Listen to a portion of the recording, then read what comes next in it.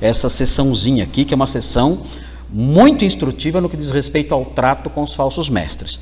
Falsos mestres não sentam na mesa de negociação do cristão. Não sentam. Com quem eu vou negociar? Falso mestre? Não.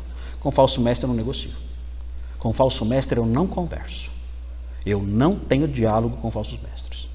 Eu não vou sentar lá e, ah, não, veja bem, você pensa diferente. Não, não existe isso. Não há essa dimensão na vida cristã. Não existe isso. O que nós vemos hoje em dia aí, é pessoal dialogando com seitas, dialogando, é, os, os, os crentes dialogando com romanistas, e não somos irmãos e tudo mais, ou, ou com seitas, adventistas e tudo isso aí. Esse tipo de diálogo conciliador não existe essa opção no Novo Testamento.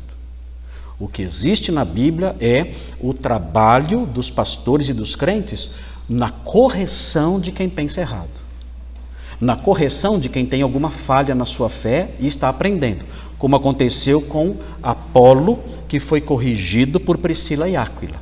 Ele estava pregando, homem bem intencionado, perceberam que havia algumas falhas na sua compreensão, eles o chamaram, explicaram direitinho, ele corrigiu e seguiu em frente. Isso existe. Esse tipo de coisa existe, tem que existir, esse é o nosso papel os pastores ensinar, corrigir, explicar. O apóstolo Paulo fala sobre isso, olha, explicando, corrigindo com mansidão os que se opõem para que Deus lhes conceda arrependimento, eles voltem à verdade.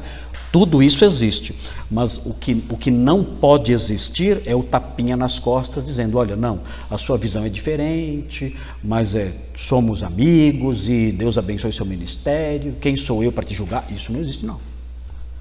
Você ensina isso? Você ensina essas coisas e persiste nisso, olha, isso é blasfêmia contra Deus. Isso nós não vamos, nós não somos, você não tem parte no ministério santo. Eu não tenho comunhão com você, você não é meu colega de ministério, você não é.